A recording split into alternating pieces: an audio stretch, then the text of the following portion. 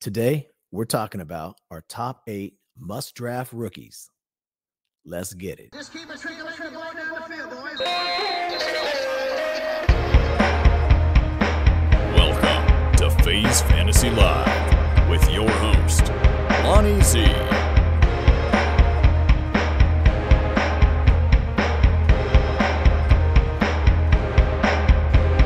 What's going on, everyone? Welcome to the show. I am so excited.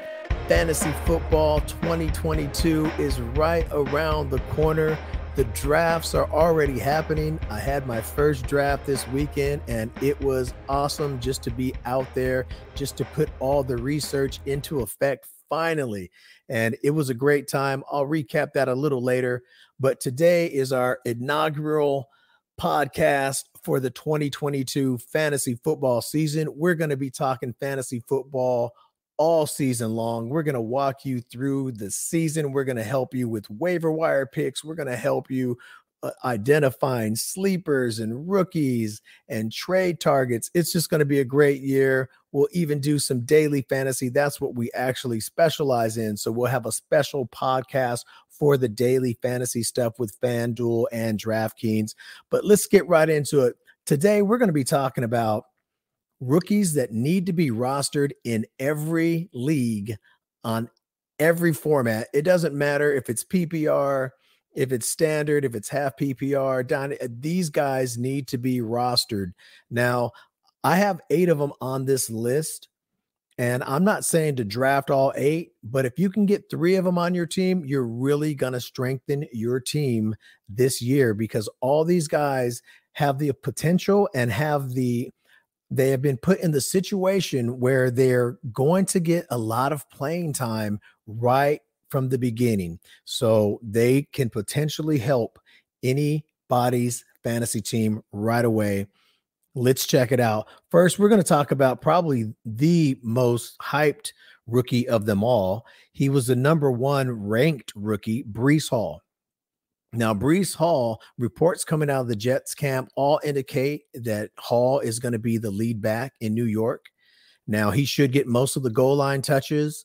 You know, Robert Saleh will use Michael Carter and Hall both, but Breece Hall is the guy that you want to target he has great upside value. His current ADP in PPR format is 51. So, like in a 10 team league, that puts him about sixth round, or, you know, in a 12 team league, that puts him around the fourth round. In my draft that just happened on Saturday, I was able to pick him up in the fifth round. And my draft kind of went a little sideways on me from the beginning. I ended up because I had the ninth pick having to do a sort of a, you know, zero RB type of a way to approach my draft. Um, I'm really not a fan of that, but it turned out all right. So Breece Hall, I got him in the fifth round. Now, look, I know that uh, Michael Carter's there, and the Jets do like Carter, but obviously they don't like him that much because they drafted Breece Hall. Breece Hall if you go check out my video and my player breakdown on this guy, I really think he's a stud. He's the real deal. He is eh, a, a workhorse. He's a three down back. And so you have to roster this guy. You got to get him on your roster. I wouldn't take him any sooner than the fifth round. I think that he'll be there eh, sixth and seventh and even eighth round, I think, in most drafts. But you got to start taking a hard look at him probably around the fifth round. But you don't want really want to miss out. If you're going to target a New York Jets running back, target Breece Hall. Now, Kenneth Walker III is on this list too. But since we prepared for this podcast and did the research, Kenneth Walker recently had surgery. And so uh, he's recovering, and they're saying that he should be a full go come um, opening day. That's what the early reports were. But if I if I go and check out the latest reports, because we just did a an article on him today at fazefantasy.com. Go check it out. An update on Kenneth Walker III's recovery from hernia surgery on Sunday and didn't sound as optimistic as he did last week. He's still pretty tender, Carroll said. I was with him today he's got some things to heal to go in and do um, and they needed to go in and do what they needed to do. So it's just a matter of time. We just don't have a designated sequence yet.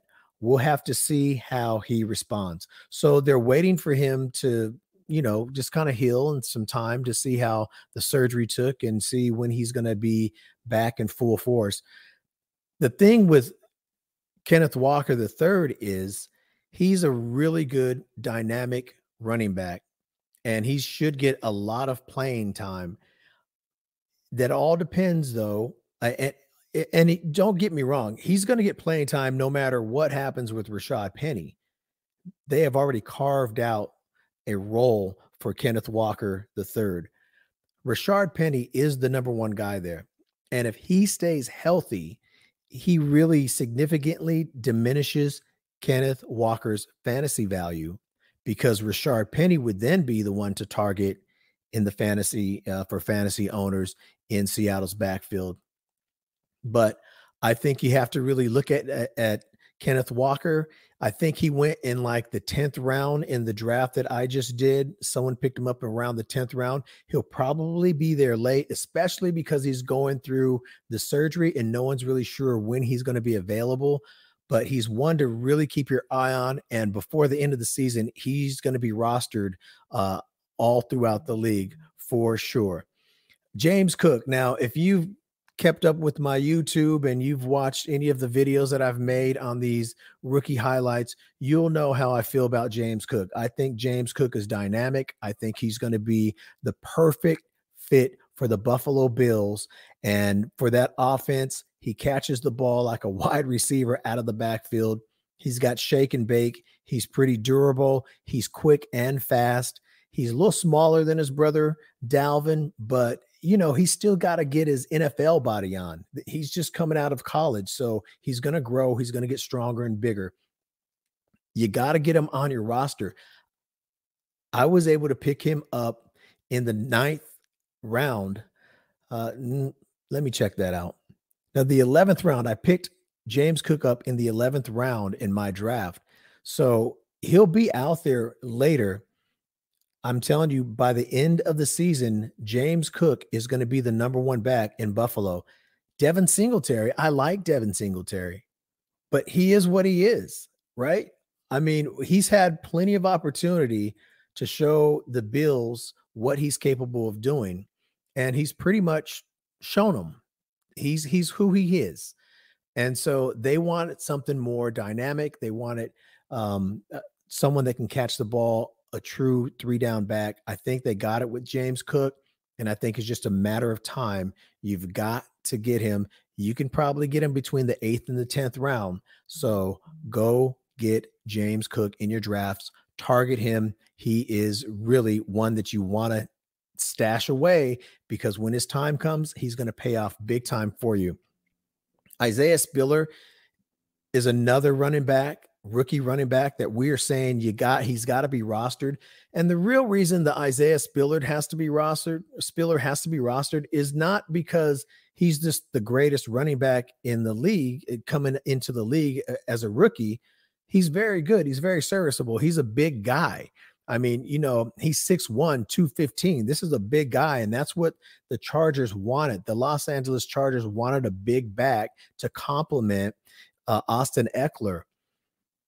But the reason we're saying that he needs to be rostered is because he's going to be a, a number one handcuff, just like Alexander Mattison for the Vikings and Alexander Mattison is in fantasy. If you're going to pick up a handcuff, it's Alexander Mattison because of Dalvin Cook. Well, the same here. Austin Ekeler, he did okay last year. He didn't really deal with too many injuries, but we know in the past he has had injuries. So Isaiah Spiller, he's going to move right on up in that handcuff conversation as one of the top handcuffs. You got to go get Isaiah Spiller and just sit him on your bench. You can probably get him really cheap. You could probably get him in the 12th round or later.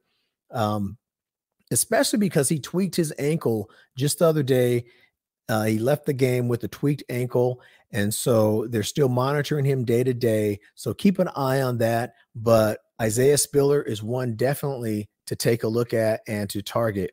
Now, Dameon Pierce, Dameon Pierce from the Texans, he didn't even play over the weekend in game two. You know why? Because they've already given him the RB1 spot. They haven't come out and officially announced him as their starting starting running back, but I'm telling you, this guy is their starting running back.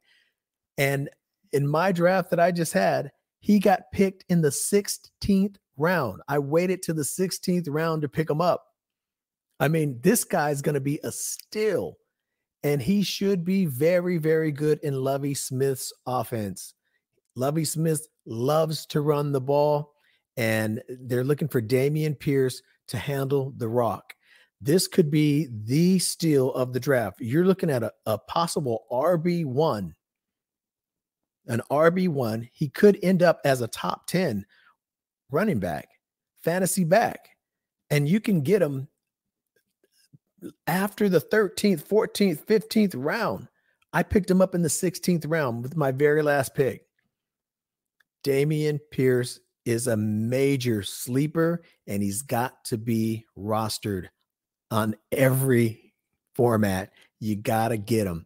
Dameon Pierce. Now, like I said when we started this whole thing, I said that I don't expect you to go out and get all eight of these guys. But, you know, if you can get three of them on your team, that'll be amazing. That'll be really good for you. Here's another guy that we have. Before I get to my top two, I'm going to throw in this is a kind of this is the number eight pick that I, I would have had. I, I didn't mention him first, but I'll mention him now. Alec Pierce. Alec Pierce wide receiver for the Colts, is getting great reviews from the Colts camp. Matt Ryan loves this kid. He says that his work ethic is like the great ones. He says he has talent and work ethic. And when you put those together, he can see this kid being great in this league. Other reports have come out and they've said that the way he's going now, he may be on on course for like 90 to 100 targets, 90 to 100 catches this year. A rookie in the number 2 wide receiver slot getting 90 to 100 catches, that's incredible. That's high high volume. Even if they did 80% of that, you're still looking at 65 to 75 catches. That's a lot of t- that's a lot of volume. So you got to look at Alec Pierce, look for his volume, I'm telling you, the Colts love this guy, and you got to go out, take a hard look at him. You'll be able to get him so cheap. You'll be able to get him in the last two rounds right now. He's really under the radar, a great sleeper pick, but he's one that must be rostered in all formats. Go to fazefantasy.com and pick up your draft kit today. It's loaded with hundreds of hours of research, rookie reports current ADP rankings, beat writers' info for every team, video breakdowns, draft selection advice, consistency charts for quarterbacks and running backs. Go grab it today, and when you enter the promo code FAZECAST, that's F A Z E C A S T, you'll get $5 off. It's only 15 bucks. That's the most inexpensive draft kit on the market today. Drafts are right around the corner, so get yours today. Use promo code FazeCast and save $5. That's just a $10 investment to win your draft. It's well worth it. Get yours today and dominate your draft. FazeFantasy.com. Our final two. Now, these two guys I'm really, really excited about because I think that they have potential to be top five fantasy wide receivers. First of all, the Pittsburgh Steelers, George Pickens. George Pickens is just a dog he's a dog. He looks like an NFL receiver already. He runs routes. He's confident. Everything about him says future star. The things that people were, or you know, worried about or concerned about were his off the field stuff. He had a bad attitude. He would get in fights on the field, things like that. But you know what? That's just immaturity stuff. That's stuff that Mike Tomlin has to deal with, and he's great. He's great at dealing with those kind of people with with young guys. He's you know his motto is we're going to make these young men into men. We're going to make them these amateurs and these rookies into professionals, professional football players. And so he's in the perfect situation. They got the kid um, the the young quarterback there, and so they're doing a whole rehaul. Dion Diontae Johnson is the number one, and then they have Chase Claypool, the number two, and Pickens has already been named the number three wide receiver. But I think he can take Claypool's position before the end of the season. So look for George Pickens. You, this guy you have to roster. Now, uh, you really need to go after him, get him in the ninth or later. You can find him there. He'll be there, but you got to get him because you may really have a top five, top 10 fantasy wide receiver for a real cheap price. And then my number one pick of all that I, I say you, you have to roster him. And I picked him up in the eighth round. I did a video originally on him that said, you know, I'd pick him up in the second round. Well, I didn't have to pick him up in the second round, but that's how highly I think about him because of the situation that he was drafted into Kansas City Chiefs, Skyy Moore. Now, you're going to have a, a lot of debate on Skyy Moore, but I'm going by Andy Reid and his knowledge of great talent. When he sees great talent, he knows it. And he has proven his his track record is proven. Tyreek Hill, Patrick Mahomes, Travis Kelce, Kareem Hunt. I mean, he's identified all these guys, and now they're all household names and they're all fantasy names because Andy Reid saw them, got them out of college, got them pretty cheap, and put them in his system, and they thrived. He's got Patrick Mahomes as his quarterback. Skyy Moore is in a prime position to be the next star out of Kansas City. I'm telling you right now, if there's one rookie that you make sure you draft this year, draft Skyy Moore. He is going to be a top five fantasy receiver. I'm telling you, he's a stone cold lock as long as he stays healthy. Juju Smith Schuster is already dealing with some um, injuries and just little things. Uh, Juju's will be probably fine, but he's he only played five games last year. He was injured a lot last year, so we're not sure exactly how fine Juju's going to be. So look for Skyy Moore. I'm telling you, he's the guy that you want to go and get. These eight rookies can really help you win your league this year. All of them. If you get three of them on your team, you're really going to strengthen your team. These are the guys. A couple of them are deep sleepers, like Dameon Pierce is a deep sleeper. Alec Pierce is a deep sleeper. I'm telling you, go out, get these guys, target them. Check out our videos at fazefantasy.com. Check out fazefantasy.com or FaZe Fantasy Live YouTube channel. Check out our videos. And I've broken them all down so you can see exactly what we think about them and see them in action. All right. Well, that's what we got for you today. We are going to be coming at you twice a week throughout the season with all kinds of information and intel to help you dominate your fantasy football league. I'm so excited that we're back in it. We're back in it. And your draft is probably right around the corner. It might be this week, it might be next weekend, but it's really soon. So go to fazefantasy.com and pick up your draft kit today. All right. You have a great one. We'll see you on the next one.